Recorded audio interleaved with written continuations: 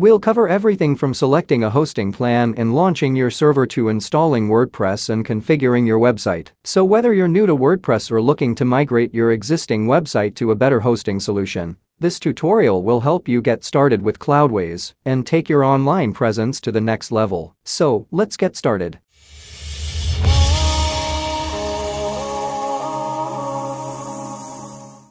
Step 1. Register on Cloudways. First, you have to register on Cloudways to start. You can use the link in the article to register, and you will get a free $25 credit for testing this platform.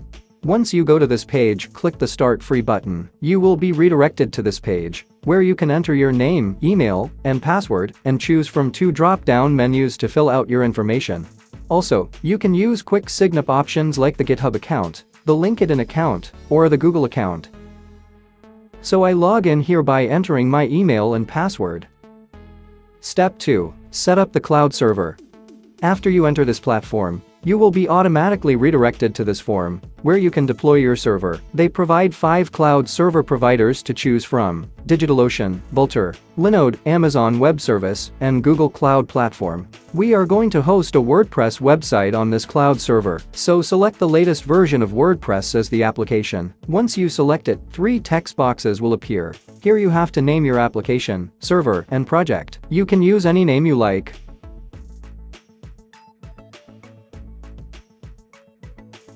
Next, we have to select a cloud server provider to host your WordPress site. You can select a server size according to your web traffic. If you are a beginner, you can select a low power server. When your site starts to grow, you can easily upgrade your server. I will show you how to do that later in the video. You can see the price at the bottom of the page. AWS and the Google Cloud Platform servers are much more expensive than those of other providers.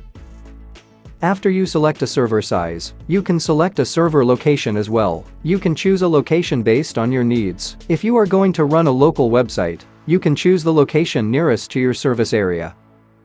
Now all you have to do is click the Launch Now button and wait a few minutes until it finishes the deployment. Step 3. Server Features and Configurations when you see this green dot, that means your server is up and running. Next, we have to connect a domain to our website. Before that, let me show you some server features and settings that might help you manage this server. Here you can stop, delete, and restart your server when you need it. Also, you can add a new application to it, transfer the server, and make a clone. When you click on the server, you will be redirected to the server management section. Here you can see your server credentials, including SSH, IP address, and a feature to run a web terminal without connecting through an SSH connection. Next, you have a monitor section that has server parameters like RAM usage, CPU usage, and storage usage. In the Manage Services section, you will see some important services that are needed to run a WordPress server. You can restart, enable, and disable these services from here without any coding or server management knowledge. The next section is Settings and Packages. In this section, you can customize the upload size and memory limit, and turn on and off some services like MySQL, NGINX, and PHP.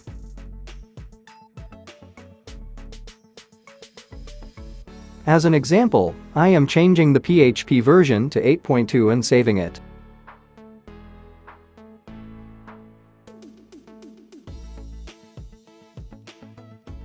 In the security section, you can block or whitelist IP addresses regarding SSH, SFTP, and MySQL database servers.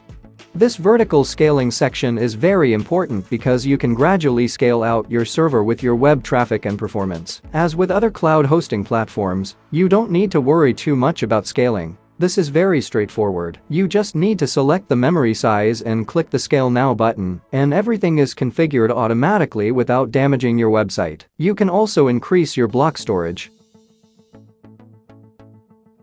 Next is the backup section where you can schedule backup frequencies, retention durations, and on-demand backups. With this, your server data will be secure, and there is no need to worry about issues occurring during an update or when adding new features to your website.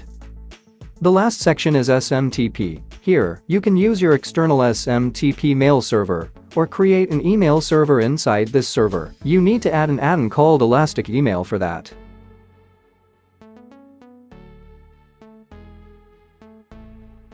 Step 4. Add a custom domain. Okay, let's go to the WordPress application. You can navigate to the application tab by pressing the this icon at the top.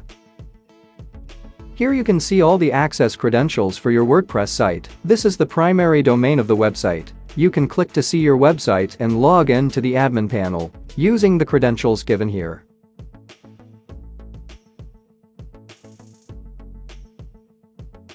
We can add our custom domain to this website. First, go to your domain name provider and navigate to the DNS section there.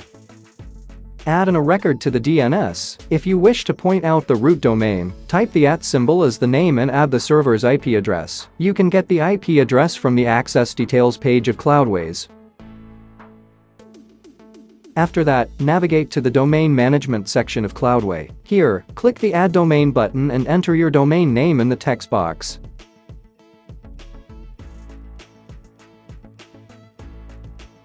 The new domain will be added as an alias domain. To set it as the primary domain, click the Modify Domain button, then confirm it. Now that it is on our custom domain, you can check it by typing your domain name into the browser. It was changed successfully. Step 5. Get a free SSL certificate. Your site is now working properly through your custom domain but you may notice your web browser shows some warning messages and says this site is not secured. Now we are going to remove that by adding an SSL certificate that encrypts your connection with your server. Go to the SSL certificate section of your website. In this section, you can add your existing SSL certificate or add a new certificate for free with Let's Encrypt. Enter your email address and domain name here. If you wish to get an SSL certificate for the www version of your root domain, checkmark the Apply Wildcard checkbox. After that, you can click the Install Certificate button. Then you will get this message. It says to add a CNAME to your DNS server. You have to copy the CNAME and go to your DNS server. Add a CNAME record with the copied name, then copy and paste the target as well. After you added it to the DNS, click the Verify DNS button. Sometimes propagation may take a few minutes. If it is not verified on the first try, check back. If your DNS record is verified, you can install the certificate. It will automatically add an SSL certificate to your website. Now you can refresh and see whether the SSL certificate was installed properly. If so, the warning message will disappear. Step 6. Cloudways WordPress features. I am going to quickly show some important features of Cloudways. On the application side, you have the option to block bot traffic. It is a major issue that most website owners face because it has an impact on your website's advertisement, SEO, and performance. The next important one is the migration tool. Using it, you can easily download your website content as a whole and migrate to another cloud platform when need to. They have an affiliate program you can join to earn extra commission by promoting it through your website, social media, or paid ads. They have an interesting commission system, including a lifetime recurrent commission method. There is a commission calculator. You can calculate the commission using that. This application link is in the article. You can apply through that link. I hope you get some idea about this cloud hosting platform. If you have any questions, ask them directly on the forum. We will try our best to help you. Thank you.